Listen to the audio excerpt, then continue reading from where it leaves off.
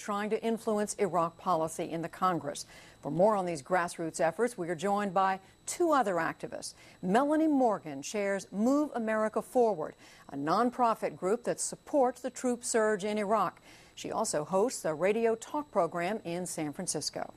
And Jon Soltz is co founder and chair of VoteVets.org, an organization that supports redeployment of the troops from Iraq.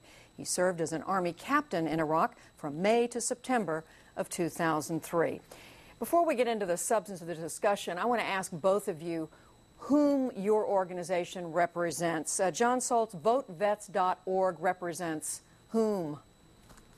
Thank you, ma'am. Uh, VoteVets.org is, is the leading political organization in America of Iraq and Afghanistan war veterans. And not only do we, we represent thousands of Iraq and Afghanistan war veterans, but we represent you know over 40,000 veterans and supporter of veterans uh, across the nation. And we're working as much, par much part of a much larger coalition, uh, Americans Against Escalation in Iraq, uh, which represents uh, many uh, you know base organizations, Center for American Progress, MoveOn.org, and, and so forth. And Melanie Morgan, uh, whom do, does your organization, Move America Forward, whom do you speak for? Well, we have over a million people who belong to our organization, which is the largest pro-American, pro-troop organization in the United States. And we are a group that speaks loudly for the military families, um, Gold Star family members who still support the war, who still support the president and our efforts uh, to stabilize Iraq and the, the global war on terror, which is even more important in the long term. Jon Soltz, what does VoteVets.org want to see happen in Iraq? Well, I think the first thing we need to talk about is since we're actually Iraq war veterans, that we're the largest uh, pro troop organization uh, in America that supports victory uh, on the war on terror. And then basically, as you could see yesterday, I believe, Mr. Zawahiri, the number two leader of Al Qaeda, he wants us to stay in Iraq. We're strategically fixed there. When I served in Kosovo in 2000, a lot of people liked President Bush because he said our military was overextended and spread too thin, with one brigade in Kosovo and 6,000 of our American troops. Now our guys in Iraq are overextended 12 to 15 months. 90% of our security assets are, assets are caught between this Shia Sunni religious war in Iraq, and it's destroyed our ability to protect America. It's broken the Army and the Marine Corps. And uh, what we'd like to see is, is a responsible strategic redeployment out of Iraq so we can refocus on capturing and killing the people that attacked this country on 9 11. This president has empowered Iran. He has empowered our enemies in Iraq, and he's undermined our troops in the field, and we cannot support those policies. So, just to be clear, a strategic redeployment, does that mean all troops out of Iraq and by when? Well, it means we need to find a way out of Iraq, and that's why obviously we're supporting the democratic plan, and, and, and, and we need to figure this out, and it's, it's more important than just troops in and troops out. I mean, when I served in Kosovo, we had 40,000 troops to protect 200,000 Serbs. That was one troop for every five civilian. In Iraq, you've got 120,000 troops for over 26 million Iraqis. Adding 20,000 more is like spitting in the ocean. So it's a little more complex than in or out, but we want to get out of Iraq, and we need to do it with, with a diplomatic surge, and that's what President Bush, he's got to step up to the plate, and he's got to negotiate right. directly with Iran and Syria. And Melanie Morgan, Move America Forward, uh, what do you want to see happen in Iraq?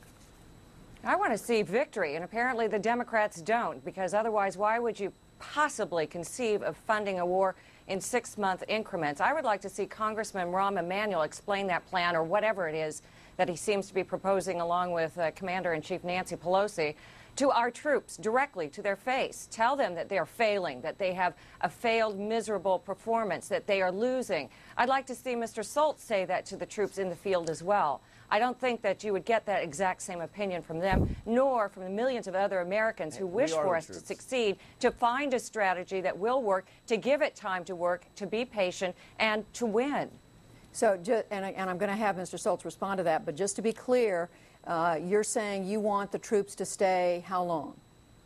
I want the troops to stay until the job is done. And that will be determined by our generals who are running and prosecuting this war. When there have been political benchmarks that have been reached, when we have a stabilization. I, have often said we've already won the war in Iraq. We have not won the peace. And that is the difficult job. The Iraqi army is working very hard to accomplish that. We are working very hard with them. We have attained many of the benchmarks already that the president set out. When we invaded Iraq, we have deposed uh, President Saddam Hussein. He's now dead. We have a, a Democrat freely elected uh, government in place. And we are trying now to secure that peace, and that is the difficult and grinding slog that we face. Jon Soltz, what do you have to say to that? Well, we are the troops, and there was nothing worse than when I was in combat in Iraq and, and a soldier that I sent on a convoy was killed, and I had to hear my president, a man who, who never had the courage to serve in Vietnam, entice my enemy with Oh, words please. like "Bring it on." So th- th- this is a very important thing. This week, VoteVets.org is, is launching a, a major, massive uh, campaign uh, component, uh, or not campaign, but an education uh, of sorts, where we're running commercials across the country, and we're not just using Iraq war veterans. We're having General Batiste, the commander of the 1st Infantry Division in Iraq.